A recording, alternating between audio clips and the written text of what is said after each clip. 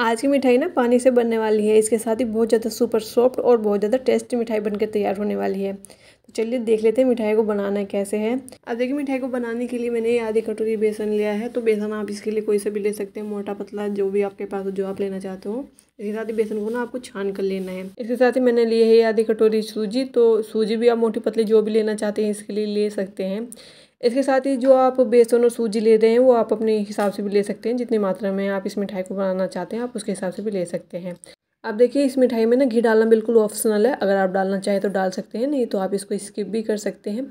अब ना मैंने दो चम्मच घी लिया है। घी को ना इसमें अच्छे से मिक्स कर लेना है, जिससे कि जो सूजी और बेसन है ना, बहुत अच्छे से सॉफ्ट हो जाए, बहुत अच्छे से इसे इसमें मिला लेना है। अब ना आप अच्छे टेस्ट के लिए इसमें थोड़ा सा इलायची पाउडर भी डाल सकते हैं। इलायची पाउडर से ना जो मिठाई है, उसका बहुत बढ़िया टेस्ट आता है। नहीं तो आप थोड़ा सा सूखे हुए नारियल का बुरादा भी डाल सकते हैं, उसे भी ना जो मिठाई खाने में बहुत ज़्यादा टेस्टी लगती है। तो अगर आप डालना चाहते हैं तो डाल सकते हैं, नहीं तो आप इसके भी कर सकते हैं, आप ऐसे भी इसको बना सकते हैं। नॉर्मली जब हम मिठाई बनाते हैं ना तो मिठाई के लिए बहुत सारा घी या फिर दूध की ज़रूरत पड़ती ही पड़ती है। पर देखिए यहाँ घी भी मैंने बहुत थोड़ा सा लिया है, वो भी बिल्कुल ऑप्शनल है, लेना चाहे तो ले सकते हैं। नहीं तो स्किप भी कर सकते हैं और ना ही मैंने दूध का यूज़ किया है। अब देखिए, इसको गूँथने के लिए ना मैंने पानी का यूज़ किया है। पानी से भी ना ये जो मिठाई है खाने में बहुत ज़्यादा टेस्टी बनकर तैयार होगी।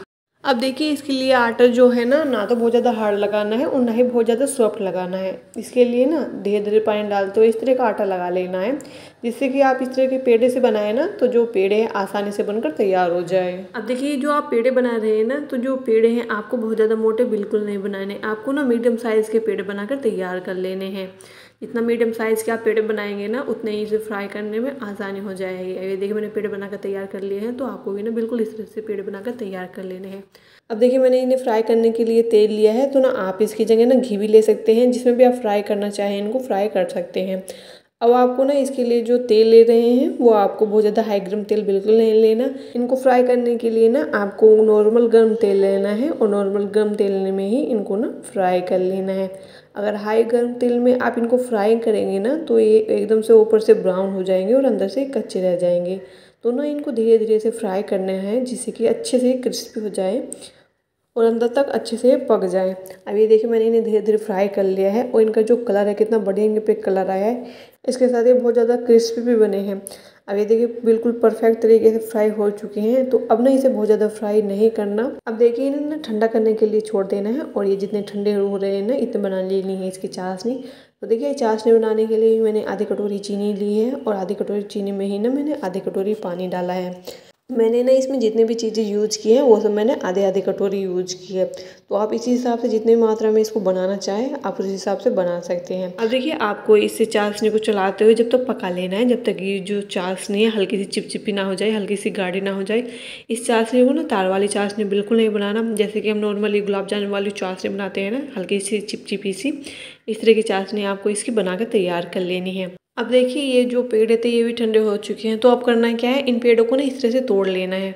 अब इनको ना बहुत ज़्यादा मोटा बिल्कुल नहीं तोड़ना छोटे छोटे साइज़ में सभी को इस तरह से तोड़ कर तैयार कर लेना है। जितना आप इनको बारीक तोड़ेंगे ना, उतनी आपको आगे आसानी हो जाएगी। अब ये देखिए, मैंने सभी को पतला तोड़ कर तैयार कर लिया है ना। तो अब करना क्या है? आपको इस तरह से ग्राइंडिंग जार ले लेना है और इसमें डालकर ना इसको ग्राइंड कर लेना है। अब देखिए, इसको ना बहुत ज़्यादा मोटा या फिर बहुत ज़्यादा बारीक ग्राइंड बिल्कुल नहीं करना। इसका जो हल्का सा दानेदार सा ये जो पाउडर बनकर तैयार हो जाए, इस तरह का आपको इसको ग्राइंड कर लेना है। ये देखिए कितना दानेदार बनकर तैयार हुआ है। अब देखिए सूजी और बेसन को भूनकर भी इसकी मिठाई बनाई जा सकती है, पर अगर आप इस तरह से बनाएँगे ना तो जो मिठाई है, बहुत ज़्यादा दानेदार बनकर तैयार होगी। अब देखिए इसमें धीरे धीरे करते हुए इसमें चाशनी मिला लेनी है। अब जो चाशनी आप ले रहे हैं, चाशनी ना तो बहुत ज़्यादा गर्म होनी चाहिए और ना ही एकदम से ठंडी होनी चाहिए। जब चाशनी हल्की सी गुनगुनी सी रहे ना, आपको उस टाइम इसमें मिला लेनी है। तो देखिए धीरे धीरे करते हुए इसमें चाशनी डालते जाना है और इसे अच्छे से मिक्स करते जाना है। अब ना आप इसमें ड्राई फ्रूट्स का यूज़ भी कर सकते हैं, जो भी आपको खाना पसंद हो। पर मैं इसमें कुछ भी ड्राई फ्रूट्स नहीं डाल रही तो आप डालना चाहते तो डाल सकते हैं। देखिए मिक्सचर अच्छी तरह से मिक्स हो चुका है तो इसके बाद ना इस तरह से लड्डू बनाकर इसके तैयार कर लेने हैं। अब ये देखिए, कितने बढ़िया लड्डू बनकर तैयार हुए हैं, कितने दानेदार लड्डू बने हैं। तो देखिए, बिना किसी दूध, मावा या फिर पनीर, ना के बराबर घी में ही ये जो लड्डू है, कितने बढ़िया बनकर तैयार हुए हैं। आपने भी अगर कभी इस तरह से लड्डू ट्राई नहीं करे तो एक बार ज़रूर कीजिएगा। ये लड्डू ना आपको बहुत ज़्यादा पसंद आने वाले हैं। इसके साथ ही अगर आप इनको स्टोर कर कर रखना चाहते हैं तो आप एक महीने के लिए इनको आसानी से स्टोर कर कर रख सकते हैं। ये ख़राब बिल्कुल नहीं होंगे। मुझे उम्मीद है फ्रेंड्स, आपको वीडियो ज़रूर पसंद आया होगा। और वीडियो अच्छा लगा हो तो जाने से पहले वीडियो को लाइक और चैनल को सब्सक्राइब ज़रूर कर दीजिएगा।